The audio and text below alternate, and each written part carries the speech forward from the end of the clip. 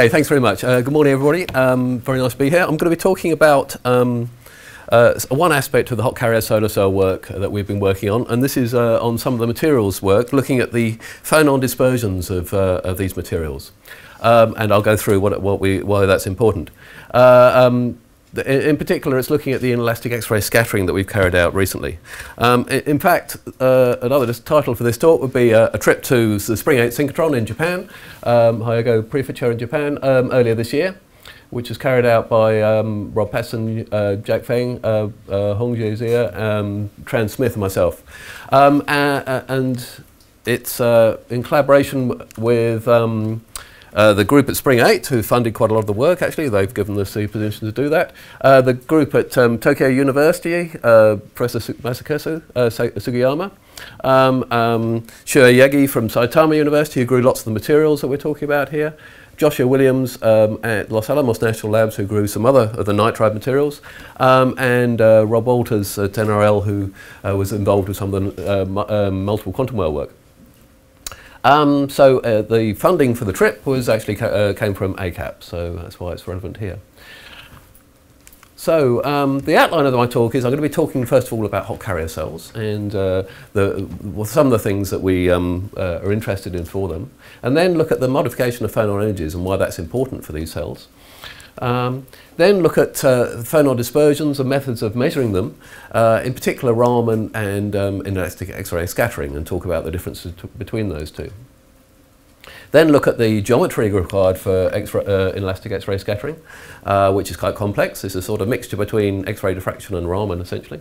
Um, and then some results on the uh, indium nitride and the indium gallium nitride alloys that we've uh, carried out. Uh, and then a very preliminary um, result on uh, some perovskite material, uh, just the phonon density of states um, that we found, uh, we measured with that. And then talk about some further work.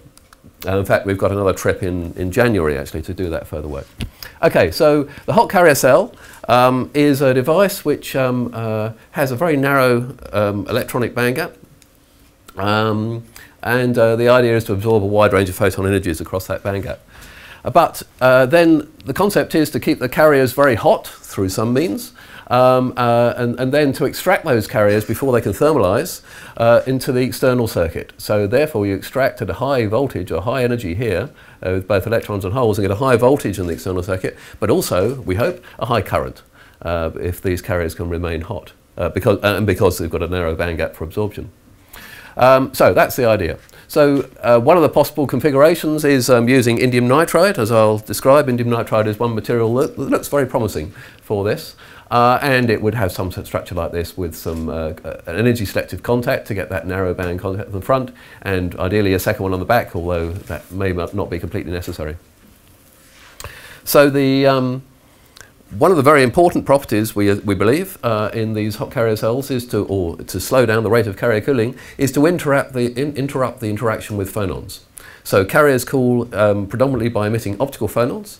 Um, those optical phonons are elastic uh, and, and, they're um, um uh, standing waves oscillating at zone center in the material. And so as such, the energy hasn't been lost at that point.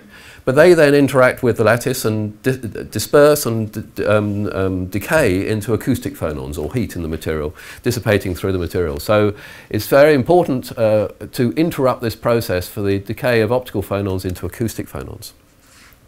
Um, the phonon dispersion of a material like silicon looks like this, is, uh, uh, uh with a, oops, um, with a uh, range of phonon energies, uh, or a continuous uh, range of energies, all the way from zero up to the optical phonon energy of 62 millielectron volts. Um, and so therefore, uh, there's, uh, or I should have said that, that this, uh, to block this mechanism occurring, you need to have a, or stop energies at half the optical phonon energy.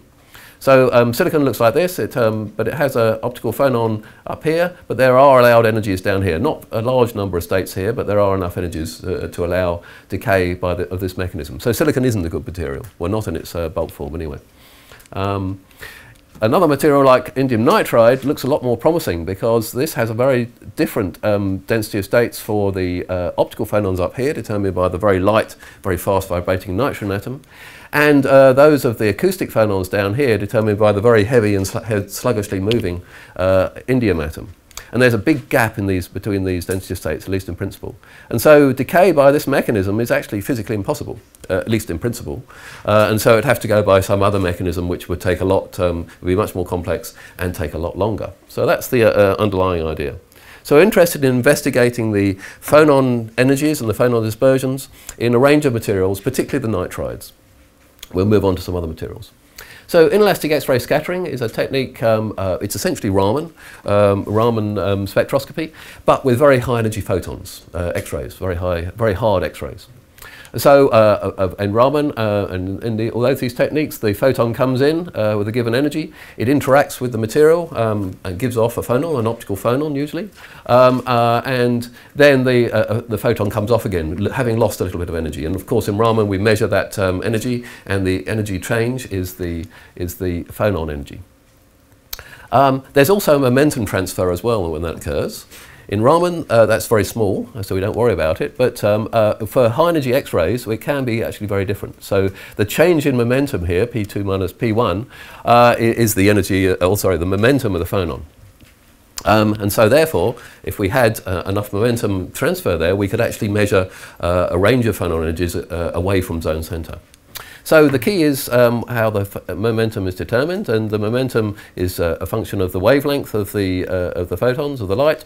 Um, for visible light, uh, around 1,000 nanometers, uh, well, I suppose um, almost visible. Uh, the, the, um, uh, uh, the, the, momentum is given by this, and uh, um, that's very much less than the momentum of the, in the crystal lattice.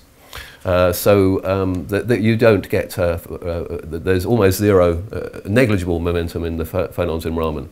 However, with hard X-rays with a, a, wavelength of um, half, a, half an angstrom, uh, that's, that's not the case. There, the momentum is actually a lot greater than, or greater than the momentum of the in the lattice. And so then we can actually probe across the Brillouin zone and look at um, a range of phonon energies, sorry, a range of phonon momentum across the Brillouin zone. So um, you need very hard X-rays for this, um, and hence you need to go to a synchrotron.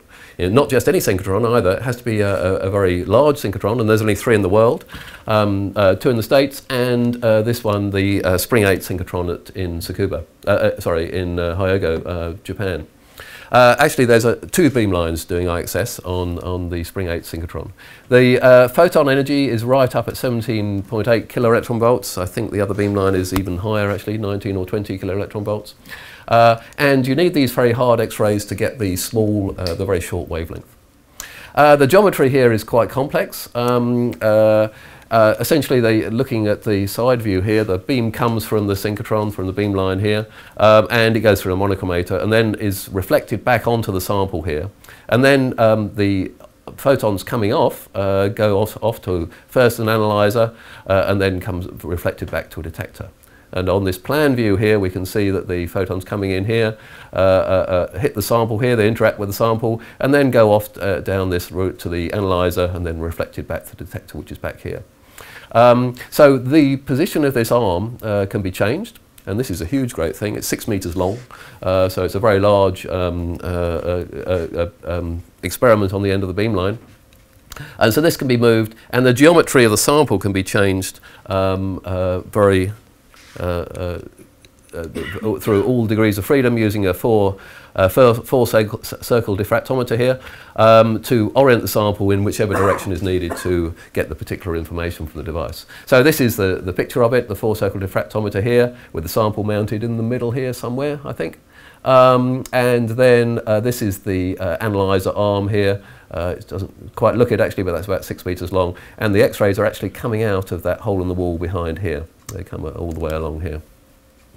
Okay, so um, the analyzer, it, which this, this, thing here is mounted at the end, is mounted in this, uh, sorry, uh, yeah, the analyzer is mounted in here, and that's actually a series of um, um, curved silicon mirrors, um, um, isotopically pure silicon, silicon uh, uh, uh, which reflect um, the photons, the reflected photons back down here.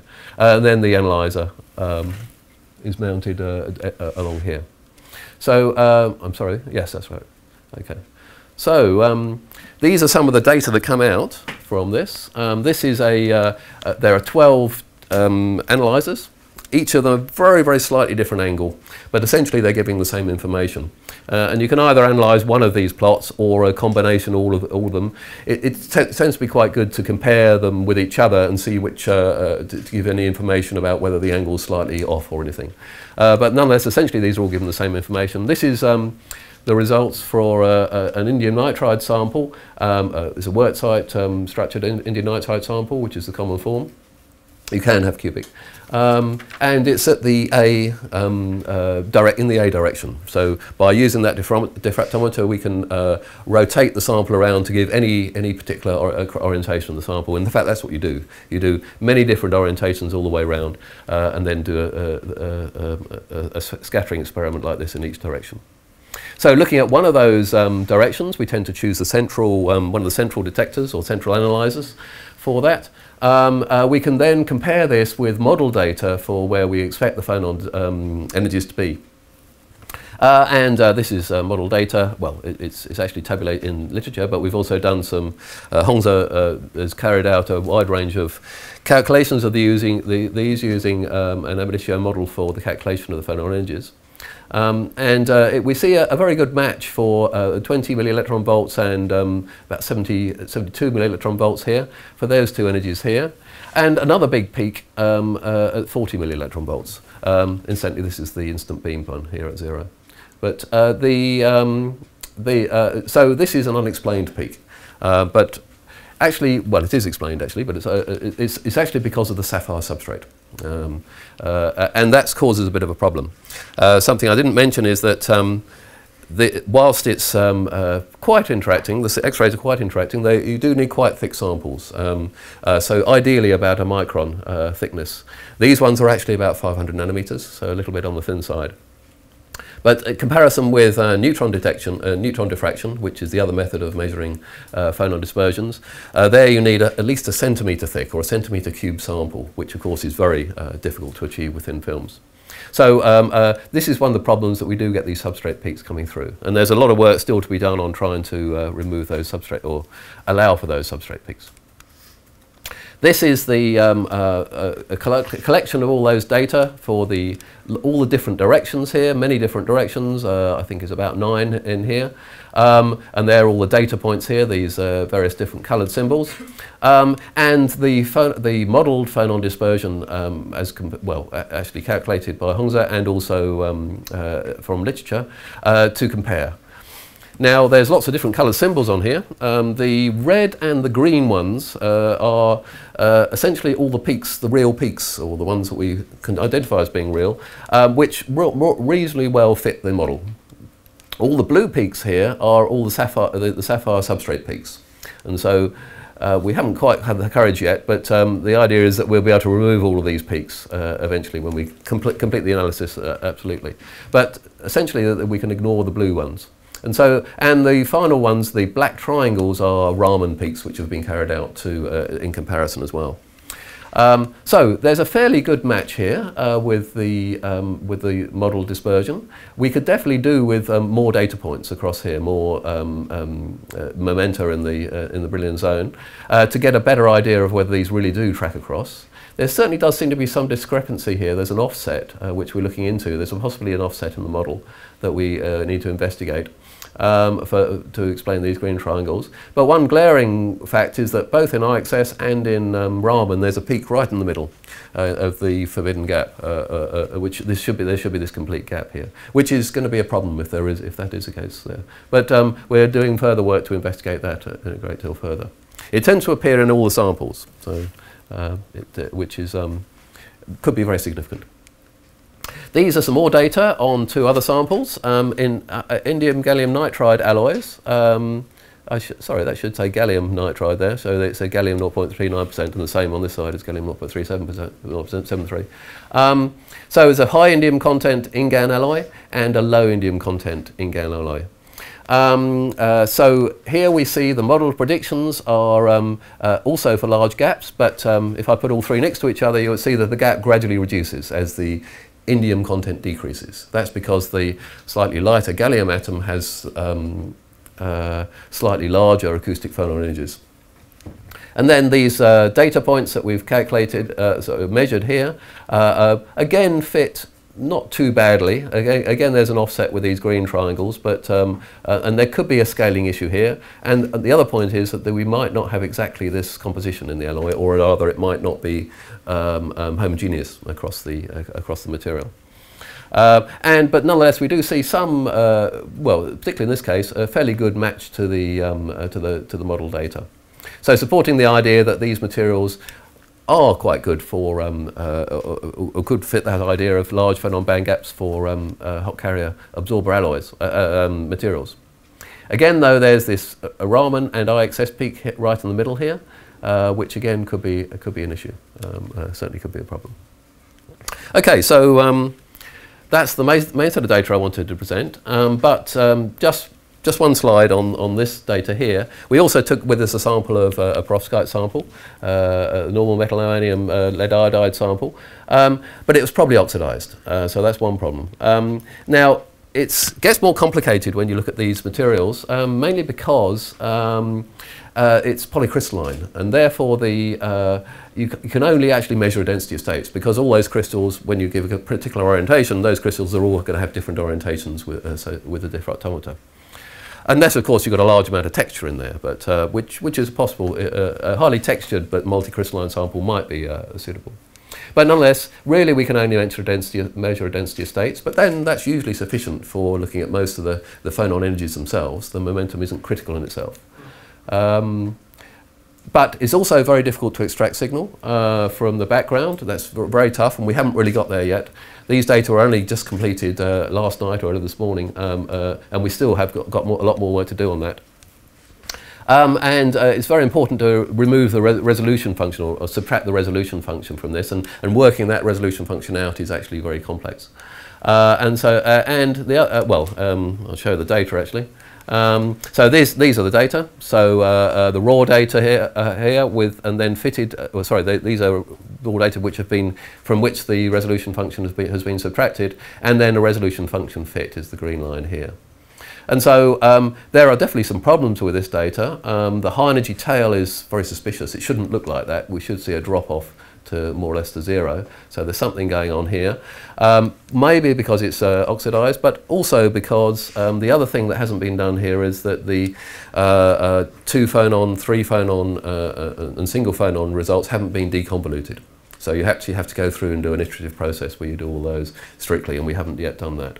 But nonetheless, it's giving some indication that there's a, a phonon energy uh, around um, 7 millielectron volts, which is um, um, somewhere near the region expected, and actually it turns out to be quite important. So it's, uh, it, it is of quite a bit of interest. Uh, and we'll be carrying out some more work on that. So to conclude, um, I talked about the importance of the phonon energies in for hot carrier cells, in uh, a role in slowing down the rate of um, carrier cooling and um, how that we can measure phonon dispersion in IXS, essentially high energy Raman. Um, I've talked about the complex geometry uh, uh, um, uh, in synchrotron uh, um, for synchrotron X-rays, and that synchrotron X-rays are required because they need to be very high energy. And there's a reasonable match, uh, maybe that word reasonable is a bit too extreme, but uh, there is a, a, little bit of a match to the modelling work um, for the indium gallium nitride alloys, suggesting the idea that they might be quite good as hot carrier absorbers. Um, and then some very preliminary data on the density of states of perovskite materials, but there's a lot more analysis that needs to be done. So further work. Uh, we're going for another trip. Um, um, well, uh, uh, uh four of us are going, not me. Uh, some of the others are going to, for another trip to Spring 8 next month uh, to carry out some more work on, on, on, these materials. We're definitely going to be looking at consolidating the InGaN results. Um, measure, and measure several other materials as well. We're going to look at hafnium nitride, which turns out to be quite interesting. Uh, some more perovskite samples, higher quality with uh, good crystalline quality, and also multiple quantum well samples. So with that, I'll thank you for your attention. Thank you. thank you, Gavin. So try and squeeze in one question if, if there's one. So you think the, um, the high energy tail, if that disappears, it'll suggest the highest energy optical phonons are around 20 MeV or something like that? Um, I don't know where they'll be, but they, it, it should truncate that 100G tail. But I haven't got, really, we can't tell from this where they'll be, I'm afraid. So at the moment, it's not completely, uh, it's not that useful. But I hope from the next time round, and when we get a better idea of how to deconvolute these data, we will, will be able to say what it is. So certainly next year, but maybe by, well, I won't say the end of January, but early, early next year, we might be able to say that, give that answer. Mm. Okay, thank you, Gavin. Okay, thank you.